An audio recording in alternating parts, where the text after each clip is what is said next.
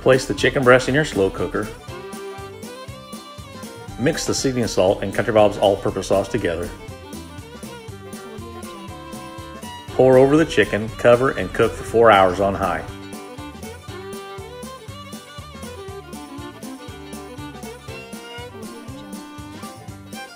Once it's done, shred the chicken using two forks. Serve on sandwich buns, slider rolls, or just on a plate with coleslaw and pickles if desired.